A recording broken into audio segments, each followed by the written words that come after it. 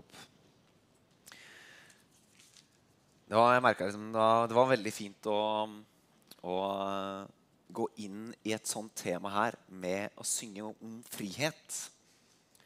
For jeg, jeg tror jo at det er frihet, at det er nåde over nåde. Det er bare nåde. At det er kraft. At vi får hjelp og støtte fra Gud. Den siste uka så har, eh, har, historien om Johannes, han som ble kalt døperen, den har inspirert meg. Jeg driver og leser litt Bibel sammen med en av gutta i, eh, i Freak om dagen. Eh, vil, du ha, vil, du ha, tak i han? Ja. Jeg tror, eh, Geir Det er noen sånn kameragreier og Vi har liksom fått Vi må være på scenen. Du må ta med stolen din, for du kan ikke bruke min stol. Du må sitte bak skjermen.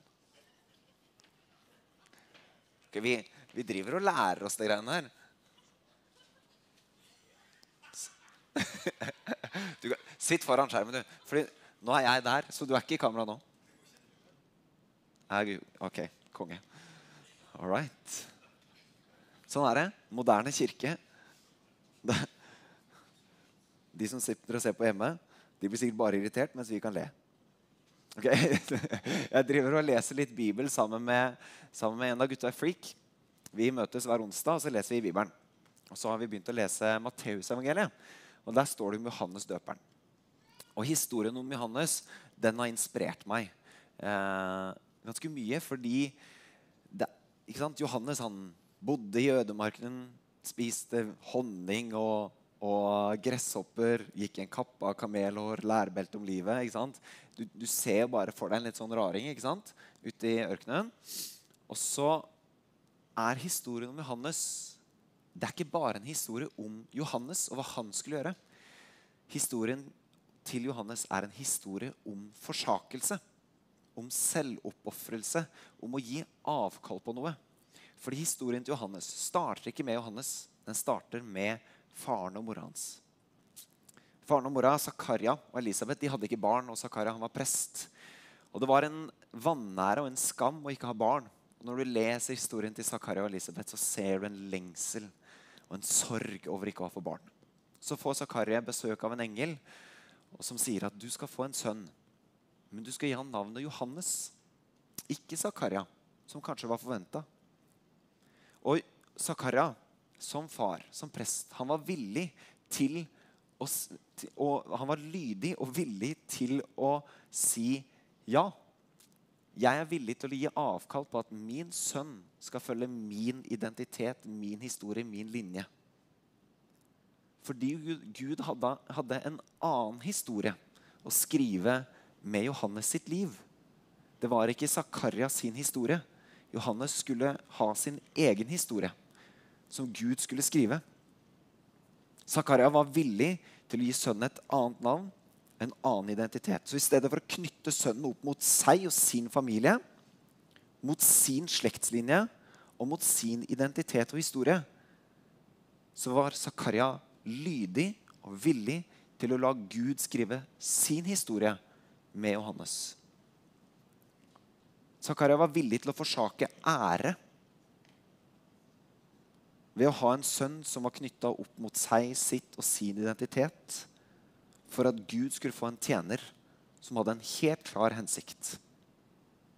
Og det her la grunnlaget for at Johannes skulle rydde vei for Jesus, Messias, Guds sønn.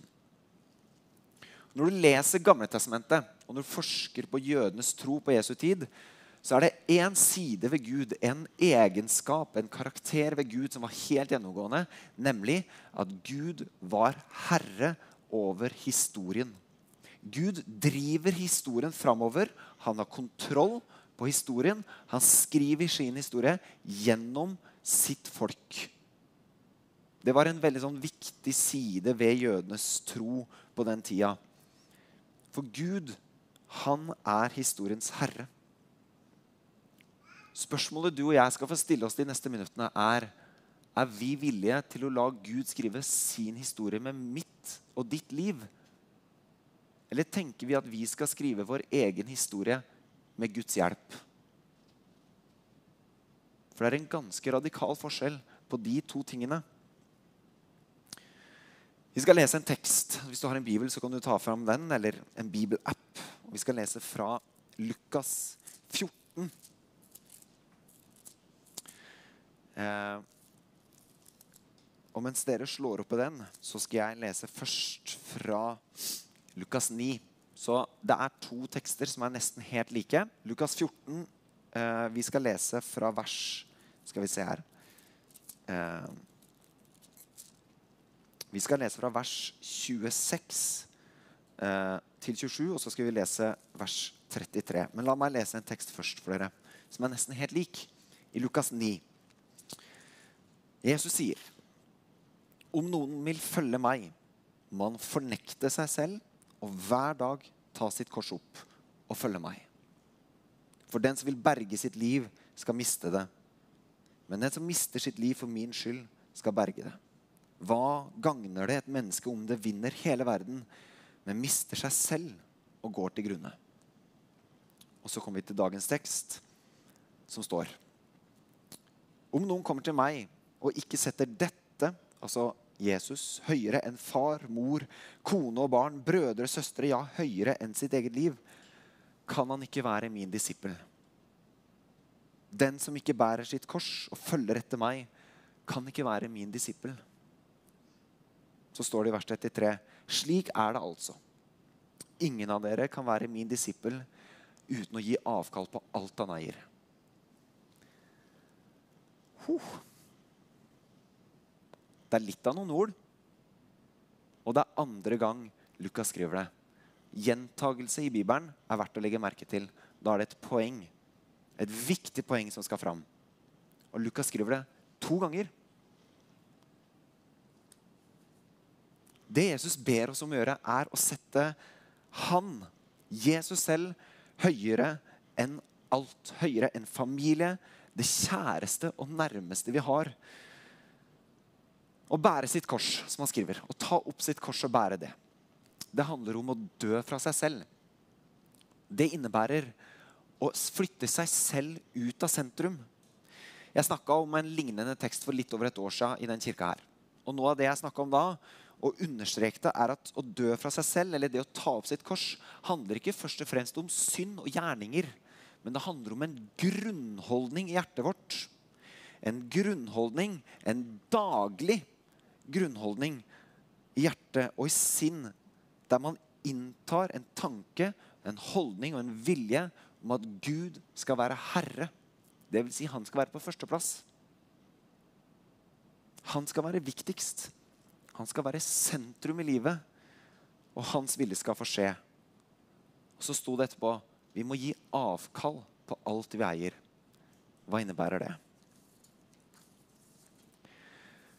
Jeg skal ærlig innrømme at det koster meg fryktelig mye å si sånne ting som det her fra en plattform.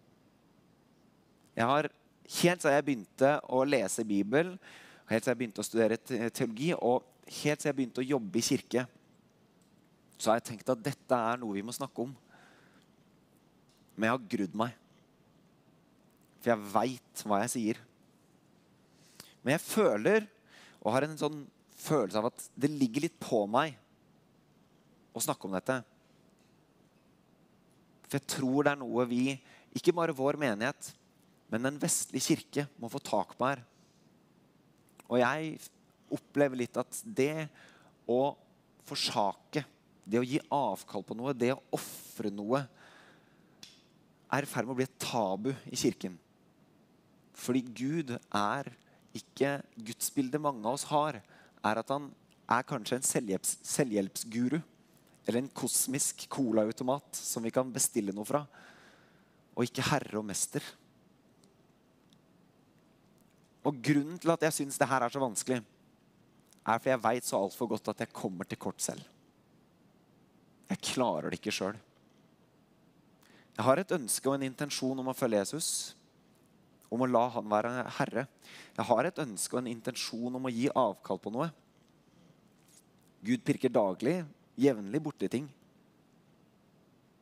Problemet er at jeg avviker og lar være å lytte og være lydig. Daglig så setter jeg min vilje først. Daglig så prøver jeg å skrive min historie med Guds hjelp.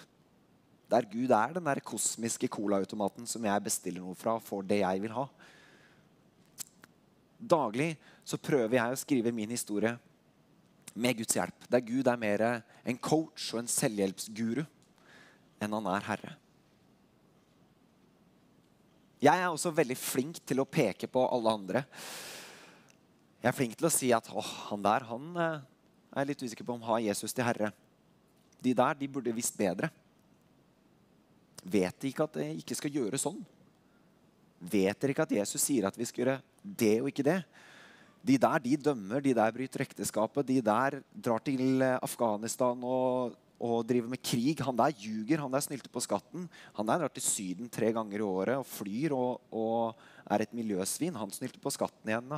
Og han der ser bare på TV hele tida eller sitter på telefon gjennomsnittlig tre timer hver dag, som er gjennomsnittet i verden. Mens generasjon Z og millennials har et gjennomsnitt på 56 timer på telefon hver dag. Det gjelder jo bare alle andre. Og jeg regner med at dere kjenner dere igjen, i hvert fall i holdningen. For vi som tror på Jesus, vi har en tendens til å tro at vi selv har gitt avkall på alt. I motsetning til alle andre.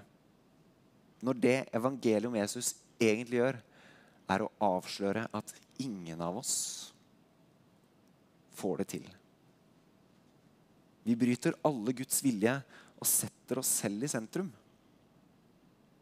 Vi er veldig flinke til å peke på andre. Men Jon Arne Frøyland, som har vært pastor her, han sa det veldig bra. Når vi peker på andre, så er det tre fingre som peker tilbake på selv. Og jeg syns det er et fabelaktig bilde. Idet jeg peker på andre, så er det tre fingre som peker tilbake på meg sjøl. Og min egen tilkortkommenhet. Evangeliet om Jesus avslører meg først, ikke alle andre avslører at jeg må gi avkall på noe. Jeg må forsake noe. Jeg har kanskje ikke Jesus i sentrum av livet. En annen grunn til at det er krevende å snakke om det her, det handler om at jeg som pastor og som forkynner fra den plattformen her har ganske mye makt. Ord skaper. Og jeg er veldig redd for å legge stein til byrde og gjøre livet, troen, etterfølgelsen mer krevende og vanskeligere enn den egentlig er. For det er veldig lett å stå her oppe og mene noe og si noe. Og jeg er veldig klar over at når jeg står her og snakker om disse tingene, og jeg er fullstendig klar over hva det er jeg sier når jeg ber noen gi avkall på alt. Og Det gjør at jeg, jeg syns det er vanskelig, men det ligger på meg at vi må gjøre det. Jeg skal prøve å si noe overordna om noen ting vi kanskje må gi avkall på, noe vi må forsake. Og Jeg skal bruke en lignelse fra eh, Lukas kapittel 8 om lignelsen om såmannen. Historien om såmannen, lignelsen, det er, handler om en mann som sår korn i en åker. Og kornet han sår, det er et bilde på Guds ord som blir sådd i menneskers hjerter. Og så står det om at det var dårlig jord, og så var det god jord. Den gode jorda det handler om de menneskene som tar imot Guds ord.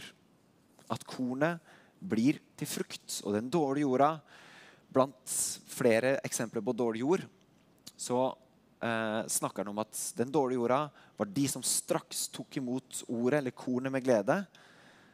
Men det ble ikke frukt, for det ble bare kvært av tre ting. Det ble kvært av bekymringer, rikdom og nytelser. Jeg skal prøve å si litt kort om disse tre tingene. Bekymringer. Det handler om at vi har behov for følelse av kontroll. Når vi ikke har kontroll, så blir vi bekymra. Og det er typisk vår moderne individualistiske, som vi alle er. Enten du liker det eller ikke, så er du en individualist. Du er, en, du er et barn av din tid. Vi er alle individualister i Norge. Vi tror at vi har kontroll. Det er derfor korona vipper den vestlige verden så sinnssykt av pinnen. For det forteller oss at vi har ikke kontroll i det hele tatt når naturen setter i gang. Vi liker å tro at vi har kontroll på natur, sykdom, på livets harde realiteter, til og med på døden selv. Vi nekter å forholde oss til at vi blir gamle, og at livet har en slutt. Vi forventer et bekymringsløst, lykkelig liv med fravær av bekymring. Og når vi kjenner på angst og bekymring, så distanserer vi oss fra det og rømmer fra det, gjerne inn i underholdning. Og det gjelder ikke bare ungdom, det gjelder eldre også. Det er like mange som er avhengig av telefon i 60-åra som i 15-16-20-åra. Jeg kunne sagt veldig veldig, veldig mye om akkurat dette temaet. Det med angst og bekymring og Anders gliser. Jeg har masse meninger. Men la meg si det sånn. Å gi avkall på bekymringer handler om å overgi kontrollen til Gud der Gud er herre over historien. Gud er herre over livet, og Gud er herre. Han kan skrive sin historie. Du veit ikke hvor lenge du kommer til å leve. Du veit ikke hva slags liv du har. Kanskje du bare skal gi slipp på kontrollen og la Gud få styre. Det er bekymringer. Rikdom. Jesus han advarer mye om rikdom. Ikke nødvendigvis fordi penger i seg selv er så ondt men fordi penger og materiell rikdom det bærer med seg utrolig mye fristelser. Ikke sant? Nordmenn, vi, hvor enn sosialdemokratiske vi tror vi er? Vi jager penger, rikdom og materielle goder. Vi liker å tro at vi måtte, skal ha jevn fordeling, og vi er ganske venstreorienterte i politikken fordi alle skal få like muligheter, og alle skal ha, det skal være likhet.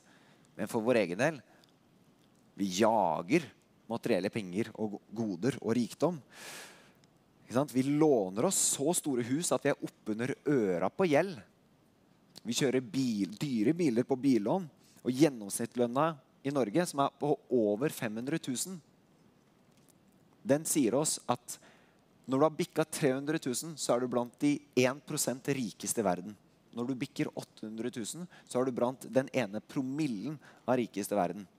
Gjennomsnittet i Norge på lønn er 500 000. Vi er så rike, vi, at det er kvalmt, inkludert meg sjøl, sammenligna med resten av verden.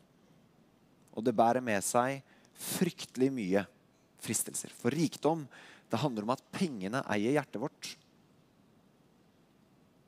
Og det ender så ofte med at vi jager mer. Og nå skal jeg si en ting. Pengene kan eie hjertet ditt om du har mye eller lite. Så rikdom handler ikke om at du har en overflod. Det kan være at du har en, eh, et underskudd også. Og det kan føre til bekymringer. Siste, tredje tingen. Nytelser. Gud har skapt denne verden. Gud har skapt alt som er godt. Er, jeg syns det er helt strålende når jeg kan spise en sinnssykt bra rømmevaffel på terrassen i vårsola i solveggen. Åh, et par søndager siden, helt ærlig, da nøt jeg livet. Det er godt, er det ikke det? Gud har skapt gode ting som vi skal nyte. Det som er, som vi skal nyte, av det som er godt i livet, det er en gave fra Gud. Ikke sant? Problemet er når nytelser blir en avgud for oss. Når vi søker og tilber nytelser mer enn vi søker og tilber Gud selv. Når nytelsen ikke lenger er en gave, men en forventning. Det er en selvfølge. Og når nytelser, når det vi forventer, det som er en selvfølge, det blir en avgud, det blir noe ondt, når det i det lange løp fører til skade på meg eller andre på min kropp, min sjel, min ånd, eller andres kropp, sjel og ånd, eller på skaperverket og naturen. Og så er spørsmålet Det er ganske mye. Det er ganske mye vi nyter som fører til skade. Mat, godteri, film, TV, telefon, spilling, reising, alkohol, sex, rusmidler overforbruk. Den tredje verden, resten av verden, lider fordi jeg skal ha en smarttelefon. Fordi jeg skal kjøpe en T-skjorte til 100 kroner på, på New York, New Yorker. Så sitter det folk i Kina og jobber 16 timer i døgnet uten noen som helst rettigheter fordi jeg skal ha billige klær. Eller bonden som ikke tjener, eller Rema 1000-eieren som ikke tjener en krone på mjølka han selger fordi jeg skal ha mjølk til under 20 kroner literen. Mine nytelser fører til skade på så mange. Og hvem er jeg til å be noen forsake noe som helst når jeg ikke er villig til å forsake en sydentur?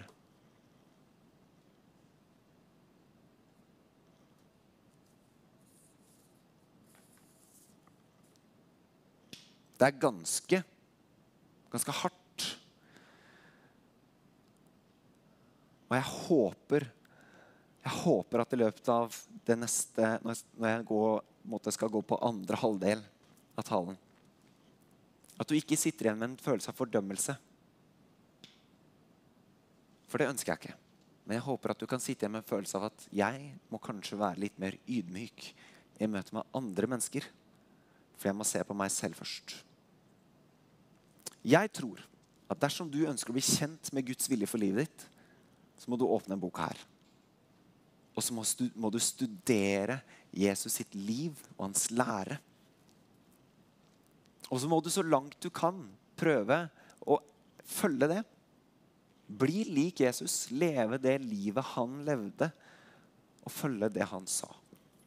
Hvis vi studerer det, så tror jeg vi får et innblikk i hva Guds vilje og tanke er. Jeg nevner disse tre tingene fra såmannslignelsen, for jeg tror det er noe i dem.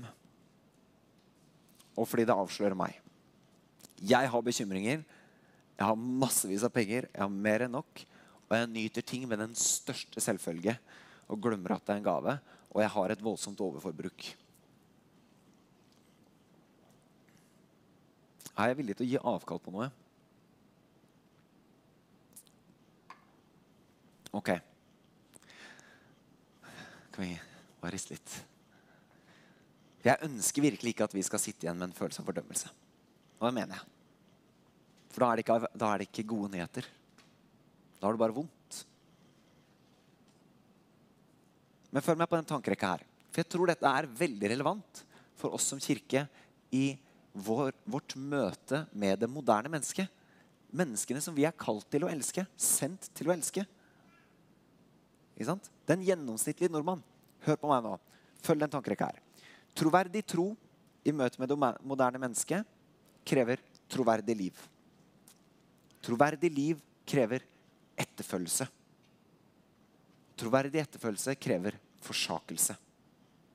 Troverdig etterfølgelse krever en ærlig og troverdig erkjennelse av min egen synd. Av at jeg kommer til kort.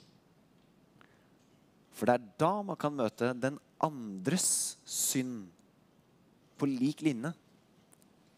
For vi kommer begge til kort. Så i stedet for at jeg står her og peker på deg og sier du må komme hit jeg er, fordi jeg har forsagt så mye, så kan jeg si vet du, vi er faktisk syndere, begge to som trenger like mye nåde. La oss gå sammen gjennom livet. La oss lene oss på hverandre. Det er derfor vi driver med mentoring i den kirka. her. Det er derfor vi driver med husgruppe. Hvordan all verden skal vi bære hverandre mens dere sitter her og hører på meg? Hvis du ikke er husgruppe Dere må seriøst vurdere husgruppe. For da kan vi bære hverandre. Hvis dere ikke har en som dere kan snakke med, så kan vi skaffe deg en mentor. Eller du kan bli en mentor. For da går vi sammen gjennom livet. Det er ikke tilfeldig at vi driver med mentoring og husgruppe. Det er ikke fordi en eller annen suksesskirke i Korea drev med husgrupper på 80-tallet. Det er ikke det det handler om. Det handler om at de små fellesskapene Da får vi som individer plass til å være ærlige. Så kan vi gå sammen. Troverdig etterfølgelse det innebærer en erkjennelse av at Gud ønsker å skrive sin historie med ditt liv. Og så ønsker han å skrive en annen historie med noen andres liv. Vi kan ikke forvente den samme prosessen på naboen vår. For det kan være Gud ber han forsake noe helt annet enn han ber deg forsake. Hvis du er kalt til å forsake én ting, så kan det være at han må forsake ti andre ting før han er klar til å forsake det du har forsakt. Det er troverdig etterfølgelse. Men vi skal gjøre det sammen. Som kirke og sammen med det moderne mennesket. Vi skal gå sammen og ikke peke så mye på hverandre fra avstand og mene så mye. Jeg snakker om det her med forsakelse med så mye ydmykhet jeg bare kan. For jeg vet hva jeg sier, og jeg veit at det er heftig og store ord. Men jeg veit også hva Guds ord sier. Og det ligger så tungt på meg, og det er så heftig, at jeg syns det er vanskelig å si. Men Jesus sier, hvis ikke noen kommer til meg, om noen kommer til meg og ikke setter dette høyere enn sin familie, høyere enn sitt eget liv, da kan han ikke være Jesu disippel. For da er du strengt talt ikke villig til å følge. Du vil skrive din egen historie med Jesu hjelp. Ikke la han skrive sin historie. Så sier han vi må dø fra oss selv, plukke opp vårt kors, følge han og gi avkall på alt vi eier, innforstått. Gi avkall på alt som tar Guds plass i hjertet og i livet vårt. Og jeg spør deg og meg nå Er du villig til å gi avkall på noe for å følge Jesus. Det betyr at du må stille deg selv ut av sentrum i ditt eget liv. Det betyr at du må la Gud få være Gud. La Jesus få være herre over livet ditt, slik at han kan skrive sin historie. I stedet for at du prøver å skrive din historie. Hva du må gi avkall på, det vet bare du og Gud. Og så har vi en veiledningstjeneste i kirka her som tilbyr samtaler. som du kan, Hvis du ønsker hjelp med dette, så vi skal hjelpe hverandre. Det er ikke det. Men jeg ønsker ikke å stå her og begynne å peke på ting i livene våre, for da begynner vi å nærme oss noe autoritært her som ikke er helt bra. Jeg veit ikke hva du har plassert i sentrum av ditt liv. Men spørsmålet er er du villig til å gjøre som Zakaria og la Guds vilje og tanke skje og la Gud få skrive sin historie. Og det er en historie vi tror er bedre for både verden og for deg. Men dere skal være klar over det. At hvis du er villig til å være lydig, så kan det være Gud gir deg mer smerte og lidelse enn om du ikke hadde vært villig. For det koster å ta opp sitt kors og gi avkall på noe. Kanskje innebærer det smerte og lidelse. Men det er derfor vi skal gå sammen. For når mennesket gir avkall på noe Vi kan ikke be mennesker gi avkall på noe og, for, og for, eh, forsake noe hvis vi ikke er villige til å gå der og bære smerten sammen med dem. Da er vi hyklerske, og det er ikke greit. For det innebærer smerte å forsake noe. Og tenk hvis vi ikke gjør det sammen. Tenk hvis vi er villige til å bære hverandre. Paulus sier det. Bær hverandres byrder og oppfyll på den måten Kristi lov. Men hvordan er det her mulig? Hvordan kan jeg forsake, plassere Jesus i sentrum og gi avkall på alt jeg eier? Jeg er jo rasjonell nok og har innsikt nok til å skjønne at som jeg sier, at jeg får det ikke til.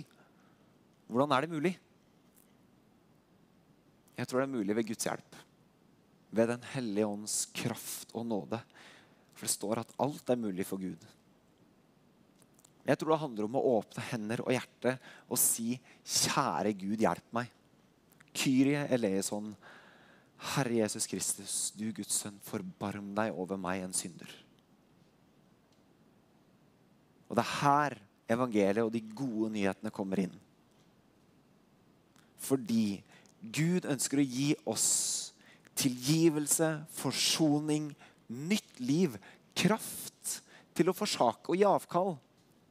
Hjelp og støtte til å gjøre det gjennom sin kirke. Gud ønsker å gi oss alt vi trenger, så vi kan gjøre dette. Det er ikke sånn at han ber deg følge, og så lar han deg gå alene. Nei, han gir deg sin ånd. Seg selv i ditt hjerte, i din kropp, som er tempelet for Den hellige ånd. Så du skal klare å gjøre det. Og så er du en del av Jesu kropp, kirken, som skal gå sammen med deg i dette. Det er her de gode nyhetene kommer inn. Du kan få la Gud skrive sin historie med ditt liv. La han få være herre og Gud i visshet om at du er elsket uendelig høyt. At han har tilgitt deg, at han har tatt deg inn i sitt rike, gitt deg sin ånd og kraft, gitt deg nåde over nåde. Du kan få la han få være Gud i visshet om at han holder deg, bærer deg, lytter til deg, kjenner deg og forstår din smerte, for han har kjent på akkurat den samme smerten. Jesus sa at han måtte være lydig. Jeg gjør min fars vilje lydig til korset, smerte, lidelse og død, for at vi skal få liv, fred, frihet, som vi sang. Det er de gode nyhetene men det krever en forsakelse. Og vi er ikke troverdige i, møte, i møte med det moderne mennesket hvis vi ikke er villige. Jesus ønsker at vi skal følge han, ikke at han skal være en selvhjelpsguru. Da driver vi ikke med da driver vi ikke med kirke. Da driver vi med noe annet. Jeg skal be for oss, og så skal vi synge. La oss be. Kjære, gode, vakre Jesus. Jeg ber om at vi skal få se deg. Se din nåde over nåde over våre liv. Jeg ber om at vi skal få se vår tilkortkommenhet og vår synd. Og at vi er ydmyke på det, Jesus. Så vi først og fremst ser på oss selv. Hjelp oss og beskytt oss fra å se så veldig mye på alle andre. Hjelp oss å gå sammen som en kirke gjennom livet.